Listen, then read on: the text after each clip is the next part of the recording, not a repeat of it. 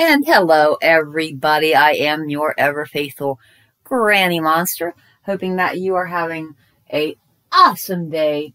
I know I sure am down here at the farm. Yay! Now, recently, I've also been up on my Facebook, and let me tell you, there's, um, well, always something interesting. Now, at the end of this video, I'm going to be putting up some screenshots, but it is my fear that you won't be able to read them so clearly. So this is me helping you out and a feller out here.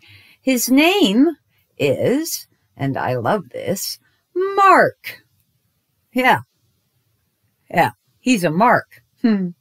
I think he thinks I am one. And it's, uh, hello there. Oh, I just happened upon your Facebook page, blah, blah. So this is where I'll start the conversation.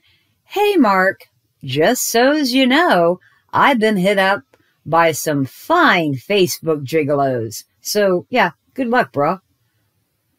He goes on to say, we can have a good friendship and build a sincere trust with each other. We will appreciate being good friends in sincerity, honesty, and trust. Although we just met each other, we can share ideas and discuss more issues as we talk about ourselves. What do you say? To which I answered, I think I'd say you're a hustler and stay on your grind. And I sure hope that you find the one you're looking for and you can work your mojo, bro. All right. And then I went, of course, I, I have to take it one next level to mischievousness and say, and hey, let me help you out by putting a little screenshot of the conversation out. Maybe it'll help you find your target or let folks know just how you're doing. Yeah, and so I went to his page, and lo and behold, wouldn't you know, his name, at least according to the link, is Shetma Mustafa. 3781. Aw. I don't know, Shetna. I think some dude named Mark has hacked your account.